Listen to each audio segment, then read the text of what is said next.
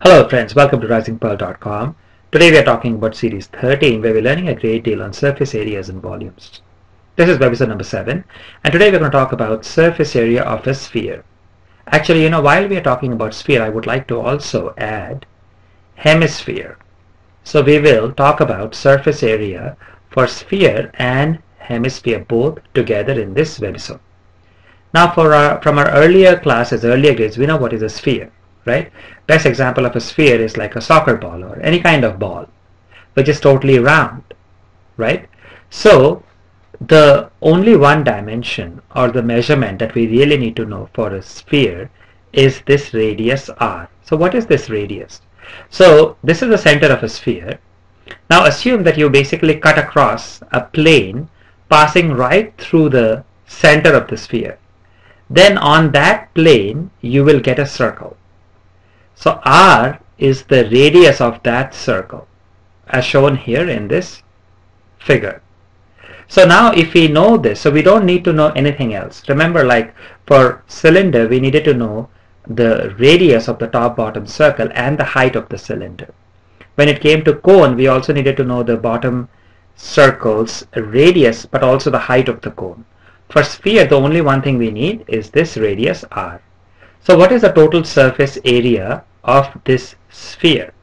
So the total surface area of the sphere is 4 pi r square. The formula to calculate total surface area of any sphere whose radius is r is 4 times pi r square. Now let's talk about a hemisphere. What is a hemisphere? So if if we cut the sphere into two equal parts. So for example, if we take a if we take a plane and we make it pass right through the center, then we can cut it into two parts. Think about maybe like if you have a watermelon, a big round sphere, and if you cut right through the middle. So these two, each of them will be a hemisphere.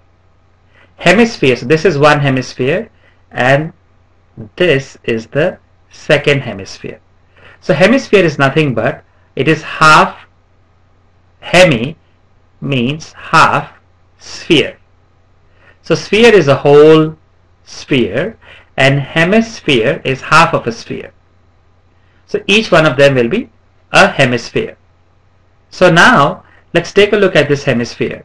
So the curved surface area of the hemisphere will be how much? It will be 2 pi r square. Why? Because the total sphere was 4 pi r square. So for hemisphere, that will be half of it. That will be 2. So 4 pi r square divided by 2. So 2 pi r square. This will be the curved surface area for the hemisphere. Now, the total surface area. So why do we have a total surface area? We did not have we did not have a curved surface area and a total surface area when we were talking about sphere. We had only one total surface area which was 4 pi r square. But if you look closely for a hemisphere, you have the curved surface area which is 2 pi r square. But also, what about what about this part that I am actually highlighting right now? In other words, if you have a watermelon and if you have cut it into two equal halves, so now in addition to the, the curved part, you also have the top of the watermelon or the bottom of the watermelon. So that is also a surface. Remember that whenever we talk about surface area, the best way to think about that is what is the amount of space that you need to put a paint on potentially, right? Obviously we, we are not going to be painting a watermelon, but if we were to paint this thing, this hemisphere, we have to apply the paint to the curved part, but also we have to apply the paint to the top part. But when we had a sphere, there was no circle. The entire thing was only one big sphere.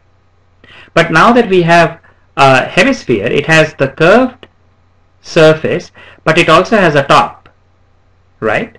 So the total surface area will not only include the curved surface area, but will also include the top part.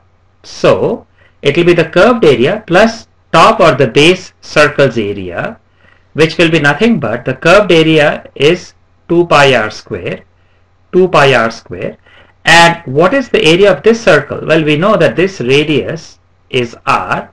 So the area of this circle is pi r square. So it will be 2 pi r square which is the curved surface area plus pi r square which is the area of the circle top or the bottom circle. So 2 pi r square plus pi r square equals 3 pi r square. So it's very important to understand friends that the curved surface area of a hemisphere is 2 pi r square. The total surface area of a complete sphere is 4 pi r square and the total surface area of a hemisphere that includes the curved surface area plus the area of a circle that will be 3 pi r square.